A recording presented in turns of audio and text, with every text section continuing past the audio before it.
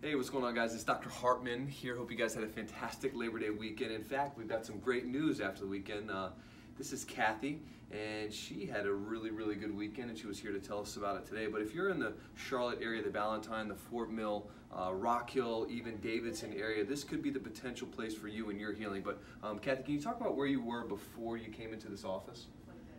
Three weeks ago, I couldn't raise my arms. I limped around because my knees hurt, and I had a very stiff neck that I couldn't turn to the left.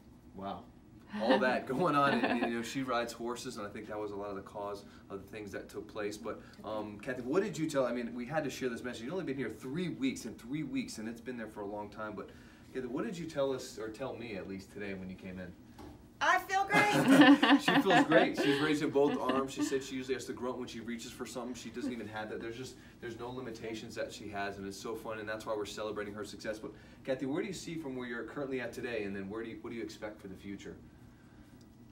I expect better. Expect better. I expect better, and I expect to hold and you know. That's it. Well, we're finally getting it. She's already held a few of her corrections this early on. I mean, this is three weeks three weeks, and you're never too late to start. It's never too early to start. So we'd love to serve you again. If you're in the Ballantyne uh, area, Charlotte area, Davidson, Fort Mill, Rock Hill, we'd love to see if you could have a testimonial like Kathy. And we just love serving patients uh, like her in this office. So have a wonderful Tuesday, and God bless.